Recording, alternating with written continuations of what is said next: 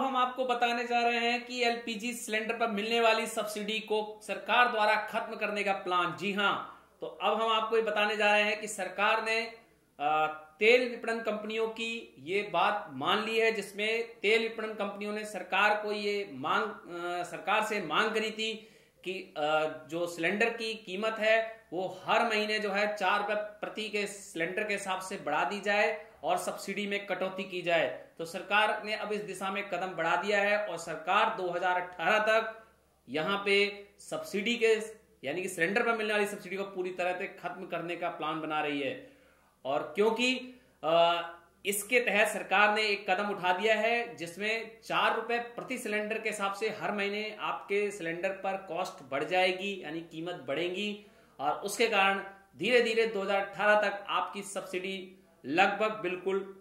खत्म हो जाएगी। लेकिन यहाँ पर आपको आ, किसी भी तरह की चिंता करने की बिल्कुल ज़रूरत नहीं है क्योंकि सरकार ने यह कदम हमारे ही फ़ायदे के लिए उठाया है और सरकार इससे प्राप्त होने वाले जो भी राजस्व है जो भी इससे प्राप्त होने वाली जो इनकम है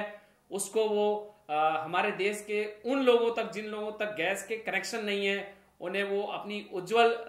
योजना के तहत उन गरीब आ, लोगों के घरों तक नए गैस के कनेक्शन उपलब्ध कराने में करेगी। और सरकार ने 2018 तक ये प्लान बनाया है कि पूरे देश में कम से कम पचानवे फ़ीसदी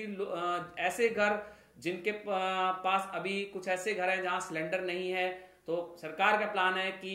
2018 तक पिचानवे फ़ीसदी घरों तक सिलेंडर के नए कनेक्शनों को पहुँचा दिया जाए, जिसके लिए सरकार तीस हज़ार करोड़ रुपए तक का खर्च करने का प्लान बना रही है। और इसी के तहत सरकार ने ये कदम उठाया है और तेल विपणन कंपनियों की मांग थी कि यहाँ पे सिलेंडर में प्रति मंथ जो है, यानी हर महीने जो है, कॉस्ट बढ़ाई जाए। तो यहाँ पे चार रुपए प्रति सिलेंडर के हिसाब से अब हर महीने आपके सिलेंडर की कीमतें बढ़ेंगी, जिससे धीरे धीरे आपकी सब्सिडी कम होती जाएगी और 2018 तक शायद ये पूरी तरह खत्म हो जाए, जिससे आपके और जितने भी भाई या बहन, जितने भी आपके या हमारे ऐसे लोग जिनके यहाँ अभी तक गैस के नए कनेक्शन नहीं है तो उनको भी नए गैस के सिलेंडर उपलब्ध हो सकें, उन पैसों का सरकार ऐसे कार्यक्रमों में यूज़ करने वाली है। और ये एक देश के विकास के लिए भी बहुत ज़रूरी है कि हर घर में ही एक नया आधुनिक ईंधन यानी कि एलपीजी सिलेंडर हो, जिससे लोगों को चूल्हा फूकने से कम से कम हमारे देश में लगभग लगभग सभी लोगों को इससे राहत मिल जाए। तो हम जैसा सुख पा रहे हैं, ऐसे हमारे भाई और प्रियजन जितने भी हमारे देश में लोग हैं, उन सभी को ये सुविधा मिल सके। तो इस दिशा में सरकार ने बहुत अच्छा कदम उठाया है और हमें इस कदम को पॉजिटिव देखते हुए इसकी सराहना करनी चाहिए, क्योंकि सरकार अब इन पैसों का हमारे जो भाई जिनके घर में सिलेंडर्स नहीं है जो माता बहनें अभी तक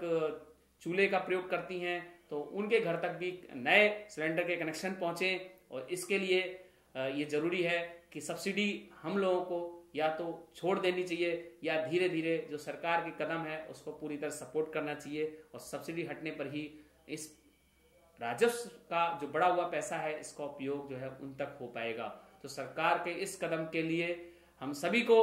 उनका थैंक्स करना चाहिए, ताकि हमारे सभी लोगों को, जितने भी हमारे भाई या मित्र बहनें हैं, उनको स्वच्छ ईंधन प्राप्त हो सके। और आपको ये मेरा वीडियो कैसा लगा तो आप इसको ज़रूर लाइक कीजिएगा चैनल्स को सब्सक्राइब कीजिएगा और बढ़ी हुई कीमतों से आपको घबराने की बिल्कुल भी ज़रूरत नहीं है, क्योंकि सरकार ने यहाँ पे कंपनियों द्वारा जो जुलाई में कीमत बढ़ाई गई थी बत्तीस रुपए, चौदह पॉइंट दो किलोग्राम सिलेंडर की कीमत बत्तीस रुपए लगभग बढ़ा दी थी। सरकार ने उस मांग को खारिज करते हुए यहाँ पे चार रुपए प्रति सिलेंडर की कॉस्ट के हिसाब से ही केवल हर महीने बढ़ाने का